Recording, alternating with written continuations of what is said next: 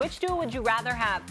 Kawhi and Paul George or Steph and Klay? Respect to Steph and Klay. It's not a hard decision for me, Kawhi and Paul George. The, you know what is better? The only thing in the NBA, in the history of the modern NBA, better than a two-way wing? What? Two two-way wings. Mm. That's the only thing better than a two-way wing. Like as much as people are telling you it's a point guard league, it's a stretch four league. Well, since no, that's not what wins. Even the Warriors were not invincible. They won against a depleted LeBron team. Then they lost when they should have won to a LeBron team. That was before KD came. Then they added what? A two-way wing, and they were unbeatable. And as a matter of fact, Iguodala was really the two-way wing, just not on the same level originally. You need that guy in the NBA, in the modern NBA history. The greatest pair of all time, Jordan and Pippen, six for six in the finals. Two two-way wings. Now, I'm not saying Kawhi and Paul George are Jordan and Pippen. I'm not saying Paul George is to two guards or, or small forwards what Klay Thompson is as a pure shooter, right? But both those guys can do so many things. They can guard multiple positions. They can shoot from the outside. They can take it to the rack. They can get their own shot. When you have two two-way wings, it's the best thing you can have, and that's what the Clippers have. I completely and totally disagree with you. I love Kawhi Leonard. Paul George is my man. They're both phenomenal players. I'm not worried about Paul George one big come playoff time. He'll show up. He's a big time talent. But Steph and Klay Thompson, and I, as I have said on many occasions, is the greatest shooting backcourt in the history of basketball. These dudes are sniper. You could call them sniper extraordinaires. They're snipers of another level, of another dimension. We ain't seen nothing like this. Now, re revealing my age, I go back to the days, bro, of downtown Freddie Brown in Seattle. You understand me? Dale Ellis, Ricky Pierce. This is before Bird and these boys. You understand what I'm saying? The Ray Allens and Reggie Millers and cats like that came later. Klay Thompson and Steph Curry, you know, Klay Thompson's a career 42% shooter from three-point range, 41.9% to be exact. You know that Steph Curry is a career 43.5% shooter from three-point range. Uh, these are, listen, and now if this, not to, to throw this out there, Max, if this were the 80s or the early 90s or something like that, different ball game. I'm going with Klay. Uh, I'm sorry, I'm going with Kawhi and Paul George. In this era, as soft as this game is called now, where you can you can sit up there, you, you can get called for technical for passing gas. I mean, get, I don't want to hear that. the, the, this, it's a different day. And when you look at these brothers, there's shots from the perimeter anywhere. There's shots from the free throw line. And I will remind everybody, you got to get into an offense, and as great as Kawhi Leonard is, you know what makes Kawhi great? I watched Kawhi the other day catch a pass. I mean, he, he caught it running to his right, and his body was this way. And somehow he was able to catch and square up all in one motion and hit the shot. It's beautiful. But he has to get to his spots. There is no spot for Klay. There is no better. spot. There is they no spot. Better. There is no spot for Steph Curry. Max, the second they walk past half court, there is no player, no two players in the history of basketball that can say this other than them two.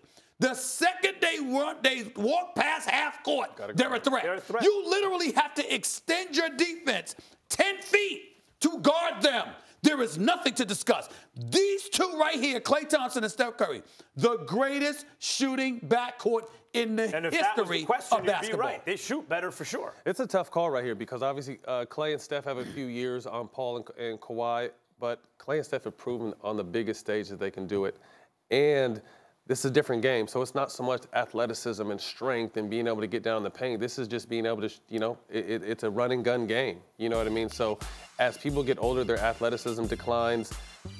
Steph and Klay aren't necessarily worried about that because as they get older, their, their, their shot continues to improve. And it, it's hard to say how much more can it improve. But these guys, like you said, stepping past half court are in their range. So I would take Klay and Steph they over those two. They certainly shoot better. There's no question they shoot better, and they're great. They but have shooting. That, that but, shooting has got them championships. Number one, Paul George and Kawhi also shoot it well. Not like on that level, but they shoot it well. If they couldn't shoot, that would be one thing. I don't even think but they can the shoot, category they can shoot, shooting, but, though. But they can take a mid-range, they can shoot a three, They're not they can in the shoot same free stratosphere. Throws. I'm not arguing that. That's your argument. I'm saying they can shoot. That's checked off. The other dudes shoot better than anyone ever. I agree with that. But there's a whole, like, there's a lot more to the game. Steph and Klay need more Mm-hmm. to be considered tight. Like you have those two, you still need a Draymond Green, a Swiss Army knife pick and roll partner who can defend and allow you to play play five out and all that. And if you have Paul George and Kawhi Leonard, you don't need anyone else special. You can just fill in the gaps. Look at the Clippers this year. You just fill in the gaps. You're a title Um, contender. um, let me try this one more time, which I'm gonna try to explain. You see, Max Kellerman, when you get on the court against somebody that are snipers like that, all those things you just said go out the window. Watch Kawhi or Paul George play against LeBron. Watch them play against Russell or James Harden. Watch them play against Joel Embiid or the Greek freak or whatever, and then watch them play against Steph and Klay. It's a different, it's a different dimension. You know why? Because all of a sudden, when I talk about palms getting sweaty and backsides getting tight, you nervous as hell. Why? Because you miss a shot, it can cost you. Because they're marksmen.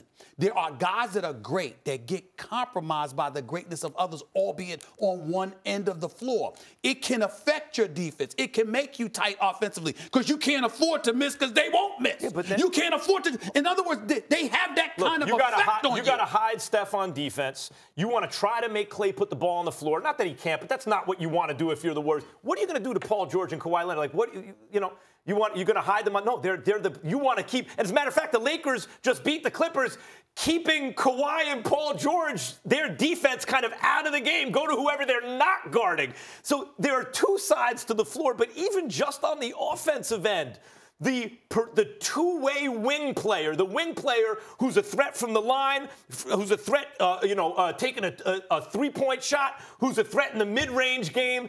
Where's the weakness? And who's also a willing passer? I would say the only thing that makes this close for me is not even on the offensive side, it's the defensive side because both those guys can guard anybody, Yes. anytime, any place. So that's what makes the comparison close. But we're, I mean, this is a game of offense today, and we're always looking at offense and raving about offense. And it comes to offense, having to chase those guys around screens. But Thanks for watching ESPN on YouTube. For live streaming sports and premium content, subscribe to ESPN Plus.